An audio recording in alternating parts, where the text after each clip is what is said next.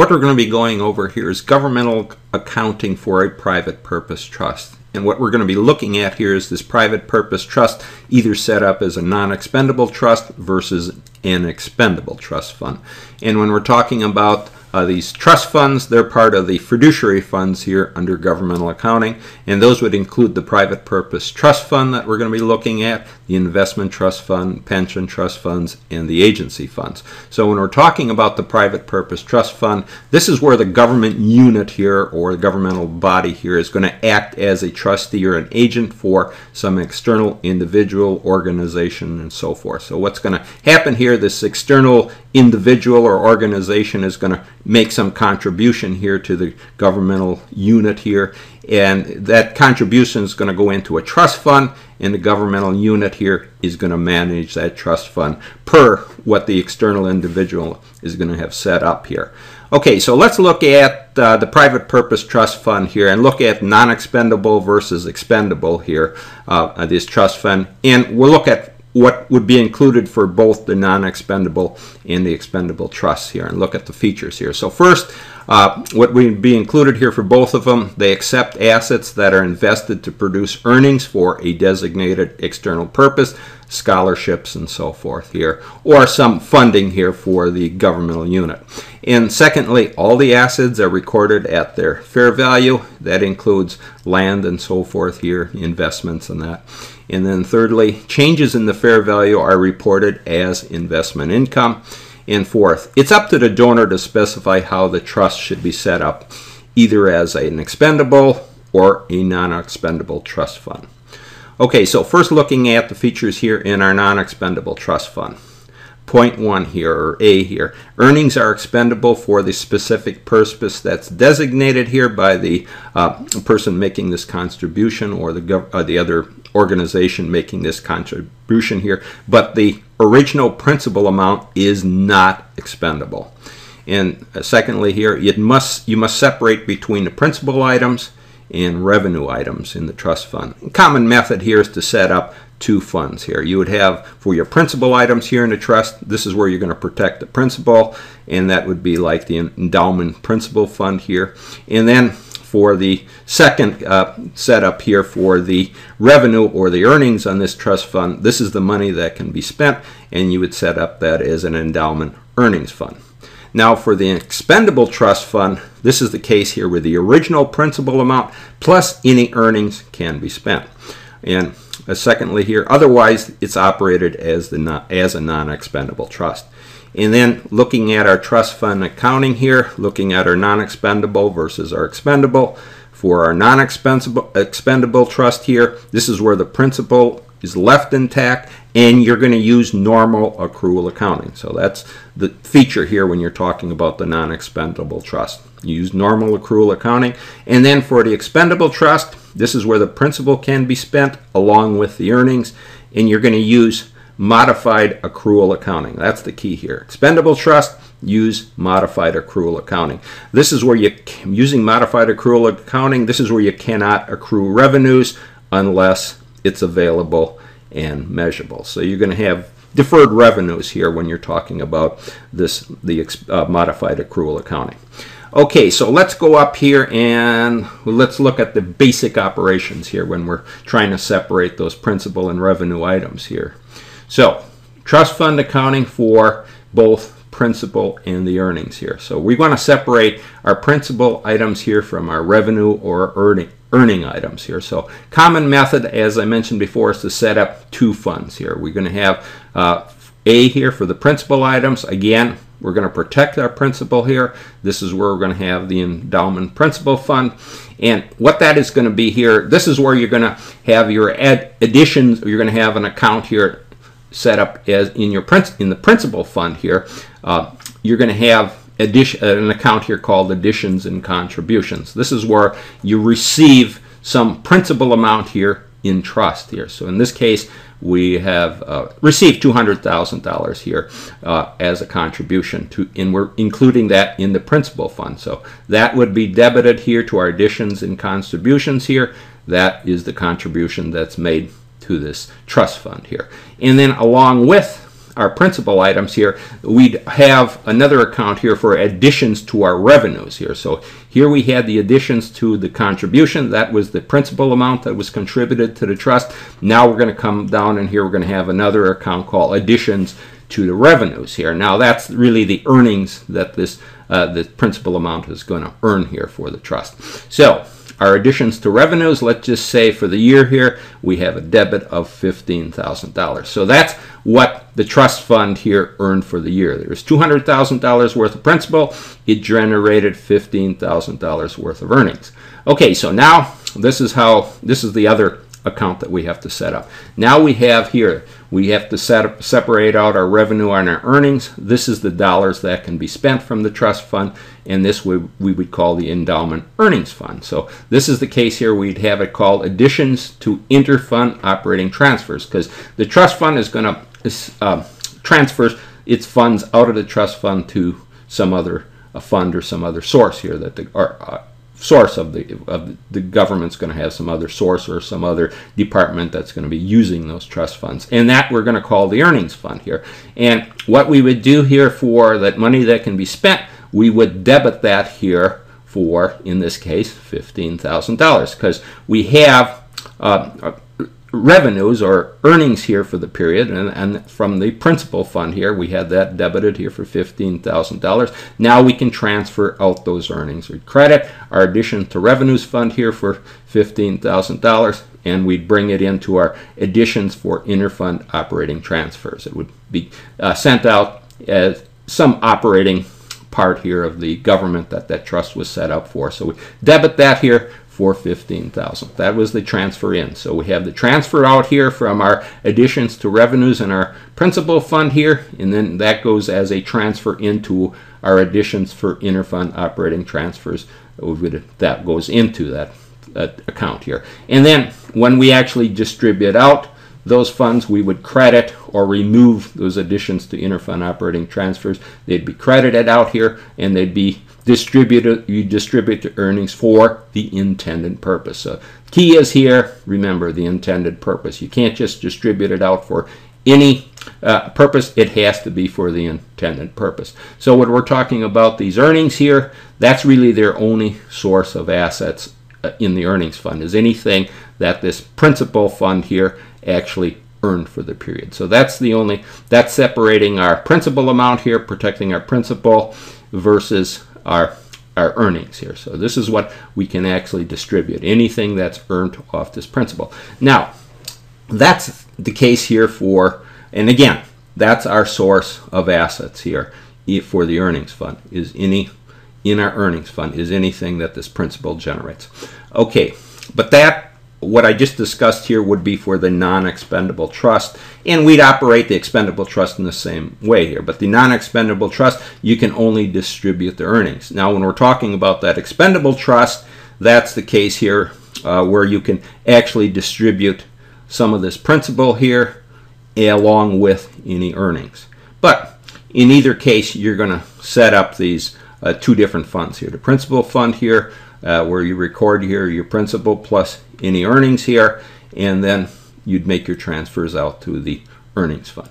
But again, that's the distinct difference here between the non-expendable trust and the expendable trust when when we're talking about these earnings here and the principal. With the expendable trust, some of this print the principal amount here can also be transferred out into uh, the additions to interfund operating transfers. But if you uh, move some of that principal out here, just remember that is going to affect earnings and additions to your revenues or earnings in the future. Okay, so now let's go and let's next look at some trust fund entries for these uh, for this uh, these a non-expendable versus the expendable trust fund. And we're really looking here at what they would call that private purpose trust fund, that the government unit is going to act as a trustee. Okay, so next we'll look at the trust fund entries. Now let's look at how we'd record this trust fund here. And it's going to be based on the, non-expendable trust. Okay, so first off, we're going to receive some donation of stock here, and the donor is going to stipulate that the earnings from this stock here, not the principal, can be spent for city park operations. So the first thing we're going to have to do is go down to our trust fund. Remember I mentioned we had the principal fund here and the earnings fund, but everything is really recorded here in the trust fund. I just use that for showing how we would separate our principal from our earnings. So in our trust fund here, we would record those investments in stocks and just say they were worth $800,000 here. That would have been their fair value. So they would have been, we debit our investment in stocks account for $800,000. That's uh, the donated amount here those stocks. And then moving over to, remember those contributions for the revenues, again in our trust fund here, we're going to credit that here for $800,000. And in this case, because it's a non-expendable trust here, it's going to be restricted, those,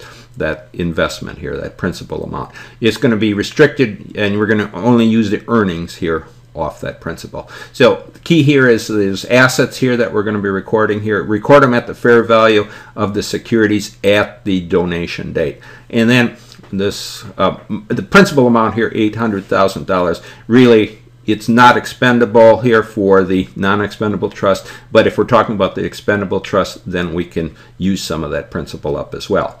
Okay, so we've taken care of our contribution here.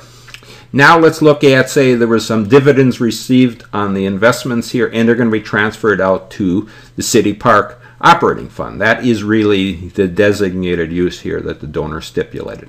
So this is what we'd be looking at here. In our trust fund again here, we'd have our cash account, and would, that would be for the income here off those stocks here. Generated 15,000 for the year, so we debit debit here our cash account here for 15,000, and then we would move over to our account here that we'd have to set up here as additions to revenues here. That's the earnings from the principal amount. Again, in the trust fund here. Remember, I did mention before we had that principal fund here and earnings fund, but actually everything is really recorded in the trust fund itself. Okay, so our additions to revenues here, that income that was received here as dividends from those stocks, we would credit that here for $15,000.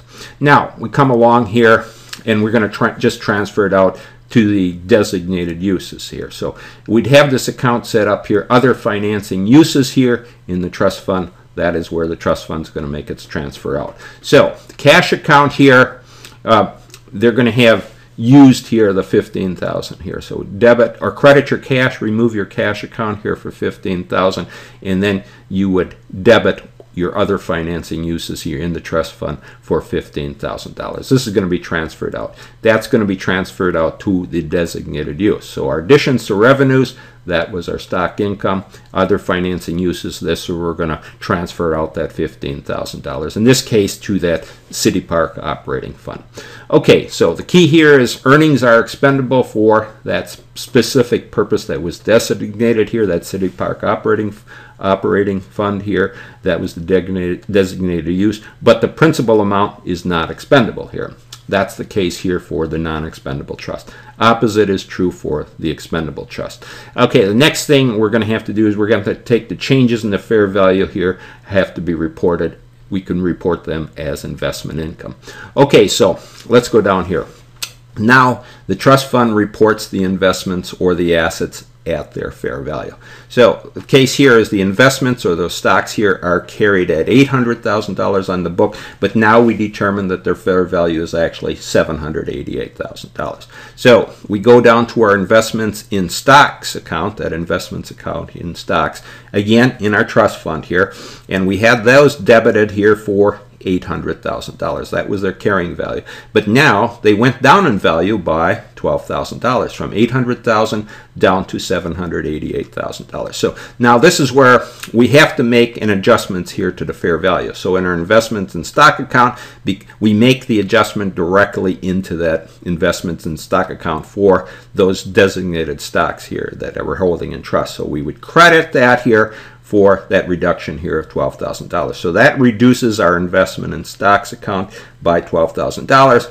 that was the adjustment. That's that fair value adjustment that we have to make. Now our net carrying value here in investment in stocks is now 788,000, reduced by $12,000 here from 800,000, the original or the carrying value that we had on the books, down to 788,000. So we had a credit here, a reduction in our investment in stock account here by $12,000. Now the debit here is going to go to account called net depreciation here. That's the fair value of the investment. We would debit that here for twelve thousand dollars. That that re, that reduction here in our fair value carrying uh, fair value here by twelve thousand. So that's the fair value adjustment. Remember net depreciation. It was depreciated here, or the stocks went down in value. So then we put it into this account called net depreciation. Debit that here for twelve thousand dollars. That's our fair value adjustment.